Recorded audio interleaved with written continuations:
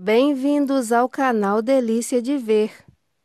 Com este óleo de cabelo caseiro, seus cabelos crescerão com velocidade tripla e lhe dará cabelos longos, grossos e brilhantes.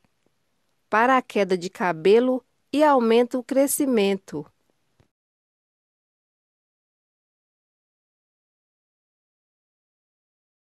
Para fazer esta receita, você precisará de 5 colheres de óleo de coco,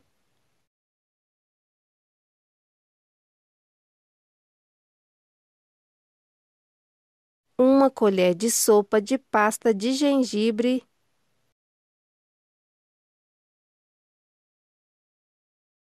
rale o gengibre para obter a pasta.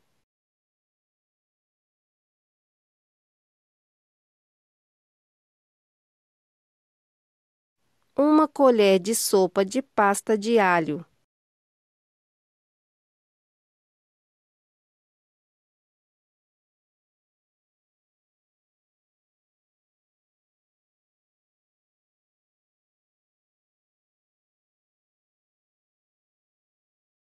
Pegue o óleo de coco e esquente por alguns minutos. Adicione os ingredientes, gengibre e alho no óleo quente e mantenha no fogo baixo por alguns minutos até que o gengibre e o alho mudem de cor para marrom.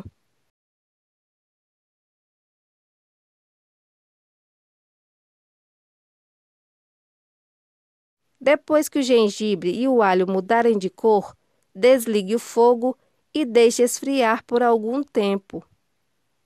Depois de se tornar frio, coloque a mistura na peneira para obter o óleo de cabelo desejado.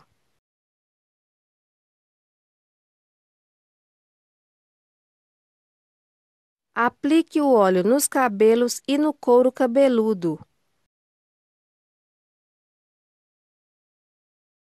Faça uma pequena massagem com as pontas dos dedos por algum tempo.